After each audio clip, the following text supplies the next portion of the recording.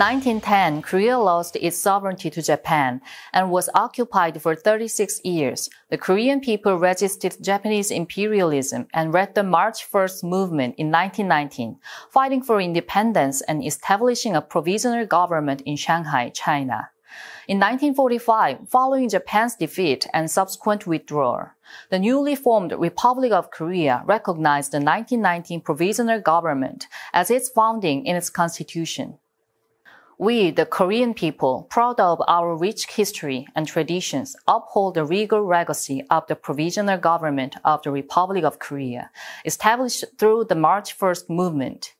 Those who view 1948 as the founding of the Republic of Korea, rather than just the establishment of its government, have gained prominence under the Yoon Suk-yeol administration. They argue that Korea was modernized during the Japanese imperial occupation and are often regarded as a domestic pro-Japanese faction. They call themselves the New Right, New Conservatives similar to the neocon in the United States. 1948년 8월 15일 정부를 세우게 되어지는 거예요. 거기서 대한민국이 시작이 되어진 겁니다. This is Kim Hyung-suk, a new right figure who recently became president of the Independence Hall of Korea, and he's not the only newcomer. Under Yoon Suk-yeol's government, the heads of state-funded historical institutions, including the Academy of Korean Studies, the Northeast Asian History Foundation, and the National Institute of Korean History, are mostly of the same background. The Heritage of Korean Independence, HKI, swiftly opposed Kim's appointment. Formed by Korean independence veterans, their survivors, and descendants, the HKI is the only public law organization of independence patriots recognized by the Korean government and receives substantial state subsidies. The Heritage of Korean Independence demanded that the president's office revoke the appointment of new right figures as president of Independence Hall, but their demand was denied. Consequently, on August 15, 2024, the 79th National Liberation Day celebration organized by the Heritage of Korean Independence was held separately from the government's event. Lee Jung-chan, a former conservative lawmaker and grandson of an independence activist, spoke with a trembling voice. 왜곡과 친일 사관에 물든 저열한 역사 인식이 판을 치며 우리 사회를 혼란에 빠뜨리고 있습니다. 준엄하게 경고해야 합니다.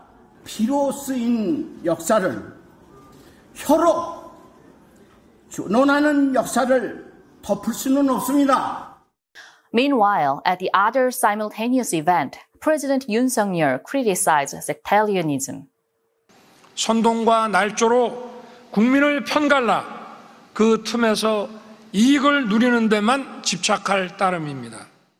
In fact, the new right's claim to the 1948 founding is not even acknowledged by their admirer Lee Seung-man, the first president of the Republic of Korea.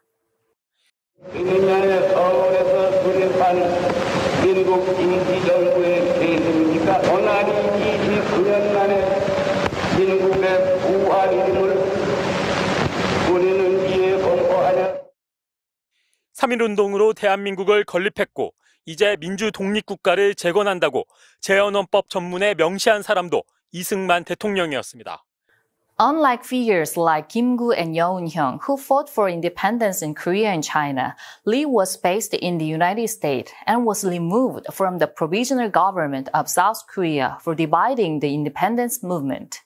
Though he became the first president of South Korea after the government was established, Lee opposed purging the past and reinstated those who had served Japanese imperialism, leading to the suppression of independence activists. Lee Seung-man is revered by new right figures for sparing the pro-Japanese, including the presidents of the Independence Hall in question, who claims that some people are unfairly listed in a pro-Japanese biographical dictionary created by a South Korean historical research group. 친일 인명사진의 내용들이 사실상의 오류들이 있더라. 잘못된 기술에 의해서 억울하게 친일 인사로 매도되어지는 분들이 있어도 안 되겠다. Since taking office, President Yoon has attempted to remove a bust of General Hong Bom-do, an independent hero from Korea's military academy, and has sought to obscure the fact that Japanese imperialism forcibly mobilized South Koreans, including at the Sado mine, while neglecting Japan's reparations to victims of forced labor. Many South Koreans have questioned whether President Yoon is committed to setting the course of history and advancing national interest against Japan. 가짜 뉴스에 기반한 허위 선동과 사이비 논리는 자유 사회를 교란시키는 무서운 흉기입니다.